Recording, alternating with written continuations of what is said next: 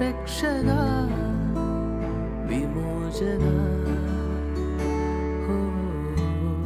വിശ്വാസത്തിൽ നിന്നല്ലാതെ ഉത്ഭവിക്കുന്നതെന്തും പാപമാണ് എന്ന് പറയുമ്പോൾ യഥാർത്ഥ വിശ്വാസത്തിന് ചേരാത്ത ജീവിതത്തിന്റെ സകല ചര്യകളും പാപത്തിന്റെ അവസ്ഥയാണ് ദൈവിക സംരക്ഷണമില്ലാത്ത അവസ്ഥയാണത്.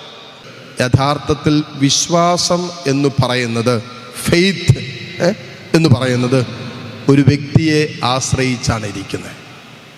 അലലൂയ അപ്പൊ വിശ്വാസത്തിൽ നിന്നും ഉത്ഭവിക്കാത്തത് എന്തും പാപമാണെന്ന് പറയുമ്പോൾ എന്റെയും നിങ്ങളുടെയും വിശ്വാസം എന്ന് പറയുന്നത് ഈ ദിവസങ്ങളിൽ നമ്മൾ ആഘോഷിക്കപ്പെടുന്ന കാര്യങ്ങൾ എന്ത് പെസഹ രഹസ്യങ്ങളിലുള്ള വിശ്വാസം. യേശു ദൈവപുത്രനാണ് എന്നുള്ള വിശ്വാസം.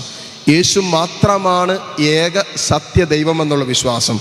യേശു മാത്രമാണ് എന്റെ പാപങ്ങൾക്ക് കാൽവരിയുടെ നെറുകയിൽ പരിഹാരം ചെയ്തു എന്നുള്ള വിശ്വാസം. അവൻ മാത്രമാണ്. അവൻ ദൈവമായതുകൊണ്ട് സ്വന്തം ശക്തിയാൽ കല്ലറകളെ ഭേദിച്ച് പുറത്തു വന്ന് ഇന്നും ജീവിക്കുന്നവനായ ദൈവം ഇതാണ് എന്റെയും നിങ്ങളുടെയും വിശ്വാസം. ഇതിൽ നിന്നും ഉത്ഭവിക്കാത്തതെന്തും പാപമാണ്. അതായത് യേശുക്രിസ്തുവിനെ മാറ്റിവെച്ചുകൊണ്ടുള്ള സകല കലാപരിപാടികളും വിശ്വാസവുമായി ബന്ധപ്പെട്ട സകല മേഖലകളും പാപത്തിന്റെ വഴികളാണെന്ന് വചനം നമ്മളെ ഓർമ്മപ്പെടുത്തുന്നു. ഇത് ഭയങ്കരമായ അപകടകരമായ അവസ്ഥയാണ്. നമ്മൾ പറയില്ലേ?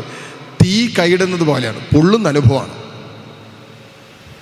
ഇന്ന് അനേകരുടെ ജീവിതത്തിൽ കണ്ടുകൊണ്ടിരിക്കുന്ന അവസ്ഥയാണ്. വിശ്വാസത്തിൽ നിന്നും വ്യതിചലിച്ചു പോകുമ്പോൾ സത്യദൈവത്തെ ആരാധിക്കാൻ മറന്നു പോകുമ്പോൾ സത്യദൈവത്തിൽ നിന്ന് അകലാൻ തുടങ്ങുമ്പോൾ വചനം പറയുന്ന ചില വിഷയങ്ങളുണ്ട്. അതിനകത്ത് ഒരു വിഷയം എന്നാണെന്നറിയാമോ അവൻ ഇങ്ങനെ മാനുഷികമായ ചിന്തകൾക്കും അപ്പുറം പൈശാചികമായ ചിന്തകളും ജഡികാസക്തിക്കൊക്കെ അടിമപ്പെട്ടു പോകും എപ്പോ? ഒരു ദൈവത്തെ സത്യദൈവത്തെ ഒരാത്മാവ് ആരാധിക്കാൻ മറന്നു പോകുമ്പോൾ സമയം കിട്ടും വായിച്ചാൽ മതി. റോമാഗ്രഹക്ക് എഴുതിയ ലേഖനം ഒന്നാം അധ്യായം. അത് ആദ്യ പകുതി മുതൽ അങ്ങോട്ട് വായിച്ചോ സമയം കിട്ടുമ്പോൾ കൃത്യമായിട്ട് എഴുതി വെച്ചിട്ടുണ്ട്. ദൈവത്തെ ആരാധിക്കുന്നത് കുറച്ചിലായതുകൊണ്ട് ദൈവത്തെ ആരാധിക്കാൻ വിസമ്മതിച്ചതുകൊണ്ട് കർത്താവ് അവരെ മ്ലേച്ഛഭാവങ്ങളിലേക്ക് വിട്ടുകൊടുത്തു. സ്വയംഭോഗം സ്വവർഗരതി വ്യഭിചാരം മ്ലേച്ഛഭാവങ്ങൾക്ക് അടിമപ്പെട്ടുപോയി അപ്പൊ ഞാൻ ചെയ്യുന്ന പ്രവൃത്തികളിൽ എന്റെ കർത്താവുണ്ടോ? ഈശോ ഉണ്ടോ ഈശോ ഇല്ലാത്ത സകല വിശ്വാസവുമായി ബന്ധപ്പെട്ട പ്രവൃത്തിയും പാപമാണ്. ഏതൊക്കെ രീതിയിലാണ് നമുക്കൊരു ദൈവം ഉള്ളപ്പോൾ നമുക്കൊരു ജീവിക്കുന്ന കർത്താവ് ഉള്ളപ്പോൾ വിളിച്ചാൽ വിളി കേൾക്കുന്ന ദൂരത്തൊരു ദൈവം ഉള്ളപ്പോൾ എബ്രാർക്കത്തെ ലേഖനത്തിൽ വചനം പറയുന്ന പോലെ എല്ലാ കാര്യങ്ങളിലും നമ്മെ പോലെ സമനായ ഒരു പ്രധാന പുരോഹിതൻ നമുക്കുണ്ട്. നമ്മോടൊത്ത് സഹതപിക്കാൻ കഴിയാത്ത ഒരു പുരോഹിതനല്ല നമുക്കുള്ളത്. മറിച്ച് പാപമൊഴികെ മറ്റെല്ലാ കാര്യങ്ങളിലും നമ്മെ പോലെ സമനായ ഒരു ദൈവം നമുക്കുണ്ട്. ഇങ്ങനൊരു ദൈവം നമുക്കുള്ളപ്പോൾ നമുക്കെന്തിനും മറ്റു പല കാര്യങ്ങളും പുറകെ പോകണം സത്യദൈവത്തിനെതിരായ സകല അന്ധവിശ്വാസത്തിന്റെയും അവിശ്വാസത്തിന്റെയും അല്പവിശ്വാസത്തിന്റെ സകല മേഘ മേഖലകളും അത് പാപത്തിന്റെ മേഖലകളാണ്. കണക്ക് കൊടുക്കേണ്ടി വരും. ദൈവിക സംരക്ഷണം നഷ്ടപ്പെട്ടു പോകുന്ന മേഖലകളാണ്. അപ്പോൾ സത്യദൈവത്തിന് നിരക്കാത്ത സകല കലാപരിപാടികളും അത് പാപത്തിന്റെ വിശ്വാസത്തിൽ നിന്ന് ഉത്ഭവിക്കാത്തതെന്തും പാപമാണ്. കാരണം എന്താ?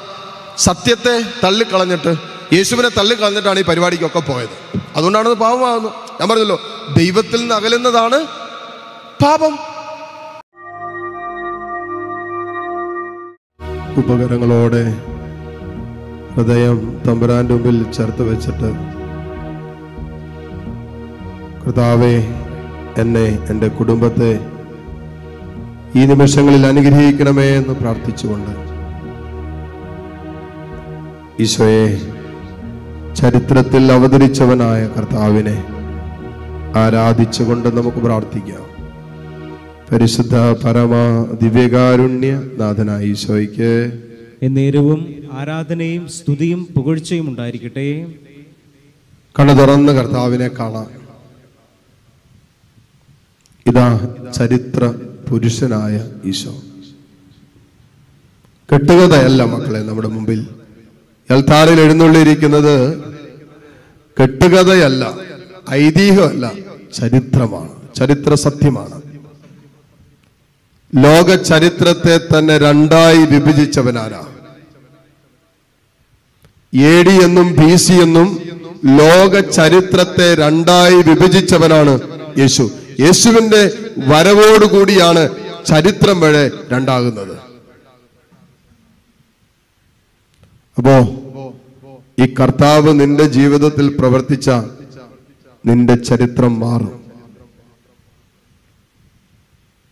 ഈ കർത്താവ് നിന്റെ കുടുംബത്തിൽ പ്രവർത്തിച്ചാൽ നിന്റെ കുടുംബത്തിന്റെ ചരിത്രം മാറും. കർത്താവ് എത്രയോ രോഗികളുടെ മേൽ അത്ഭുത സൗഖ്യം നൽകിയിരിക്കുന്നു. എത്രയോ പൈശാചിക സ്വാധീന വലയത്തിൽ കടന്നിരുന്ന ജീവിതങ്ങൾക്ക് വിടുതൽ നൽകിയിരിക്കുന്നു. മരിച്ചവരെ ജീവനിലേക്ക് തിരിച്ചു കൊണ്ടുവന്നിരിക്കുന്നു. ഇതൊക്കെ ചരിത്രമാണ്. ടീച്ചർ പറഞ്ഞു ഞാൻ പോയി കഴിയുമ്പോൾ ആത്മാവിനെ അയക്കും. അപ്പോ ഞാൻ പഠിപ്പിച്ച കാര്യങ്ങളൊക്കെ നിങ്ങൾക്ക് മനസ്സിലാകും. മാത്രമല്ല ഞാൻ ചെയ്തതിൽ കൂടുതൽ കാര്യങ്ങൾ നിങ്ങൾ ചെയ്യും. മോളെ നിന്റെ ചരിത്രം മാറാൻ പോവാ. മോനെ നിന്റെ ചരിത്രവും മാറാൻ പോവാ. നിന്റെ ഭാവി തമ്പുരാൻ തിരുത്തി എഴുതാൻ പോവാ. നിന്റെ ഭാവി ഭാവി ജീവിതം ഭാവി സ്വപ്നങ്ങൾ നിന്റെ ജോലി മേഖലകൾ നിന്റെ വരുമാന മാർഗങ്ങൾ നിന്റെ ജീവിതത്തെക്കുറിച്ചുള്ള സ്വപ്നങ്ങൾ. ഇതാ കർത്താവ് നിന്റെ ജീവിതത്തിന്റെ ചരിത്രത്തിൽ അവതരിച്ച് കടന്നു വന്നിട്ട് മാറ്റി എഴുതാൻ പോവാ. ക്രിസ്തു നിന്നിലൂടെ കടന്നു പോകുമ്പോ നിന്റെ ചരിത്രം മാറും. നിന്റെ ചരിത്രം മാറ്റി എഴുതപ്പെടുന്ന സമയം അത്. നിന്റെ ജീവചരിത്രം മാറ്റി എഴുതപ്പെടുന്ന നിമിഷങ്ങളാണിത്. ഒന്ന് വിശ്വസിച്ചാൽ മതി. ഒന്ന് മതി. എന്റെ കർത്താവ്. ഇതാ. എന്റെ ജീവിതത്തിലൂടെ ഇറങ്ങി നടക്കുന്ന സമയമാണ്. ഇതാ എന്റെ കർത്താവ്. എന്റെ കുടുംബത്തിലൂടെ ഇറങ്ങി നടക്കുന്ന സമയമാണ്. ഇതാ എന്റെ ദൈവം എനിക്കായി അത്ഭുതം ചെയ്ത് ജെറുസലേം വീതികളിലൂടെ ഗലീലി കടൽ തീരത്തിലൂടെ നടന്നുപോയ ചരിത്രത്തിൽ അവതരിച്ചവനായ കർത്താവ് ഇതാ എന്റെ ജീവിതത്തിന്റെ ചരിത്രത്തിലൂടെ ഇറങ്ങി നടക്കാൻ പോകുന്ന സമയമാണ്. വിശ്വസിക്കുക നിന്റെ ജീവിതം മാറാൻ പോവാ. ഇന്നലകളിൽ പാപം ചെയ്ത ജീവിതത്തിന്റെ ചരിത്രമാണ് നമ്മുടെ ജീവിതമെങ്കിൽ തമ്പുരാൻ ഈ നിമിഷങ്ങളിൽ ഇതാ ഒരു വിശുദ്ധ ജീവിതത്തിന്റെ വിശുദ്ധ ജീവിതത്തിന്റെ തലമുറകളുടെ ഒരു ചരിത്രം നിനക്കായി സമ്മാനിക്കാൻ പോവാ. മാറ്റി എഴുതാൻ പോവാ നിന്റെ ചരിത്രം. ഒട്ടുകുത്താൻ സാധിക്കുന്ന എല്ലാ മക്കളെയും നിമിഷം ഒട്ടുകുത്തുന്നു കർത്താവ് നടത്തിയ വഴികളെ ഓർത്ത് നന്ദി പറയാം. നമ്മുടെ എല്ലാ സ്വകാര്യ ദുഃഖങ്ങളെയും വേദനകളെയും ഈശോയ്ക്ക് കൊടുക്കാം. നമ്മുടെ മനസ്സിനെ ഭാരപ്പെടുത്തുന്ന എല്ലാ സങ്കടങ്ങളെയും സമർപ്പിക്കാം. നേരിട്ടുകൊണ്ടിരിക്കുന്ന പ്രതിസന്ധികൾ പ്രതികൂലങ്ങൾ ആരോടും പറയാനോ പങ്കുവയ്ക്കാനോ പറ്റാത്ത ജീവിതത്തിന്റെ നൊമ്പരങ്ങളെല്ലാം ഈശ്വരടുത്ത് പറ. ഈശോ നിന്നെ തൊടുന്ന സമയമാണ് ഈ ആശീർവാദത്തിന്റെ സമയം. യേശുവിന്റെ സ്നേഹം എന്നെ സ്പർശിക്കുന്ന സമയമാണിത്. കർത്താവിന്റെ സൗഖ്യം നിന്നിലേക്ക് ഒഴുകി വരുന്ന സമയമാണ്. കരങ്ങൾ ഈശോയിലേക്ക് നീട്ടിപ്പിടിച്ച് സ്തുതിച്ച് പ്രാർത്ഥിച്ചുകൊണ്ട് ഈശോയുടെ ആശീർവാദം സ്വീകരിക്കട്ടെ. പരിശുദ്ധ പരമമാ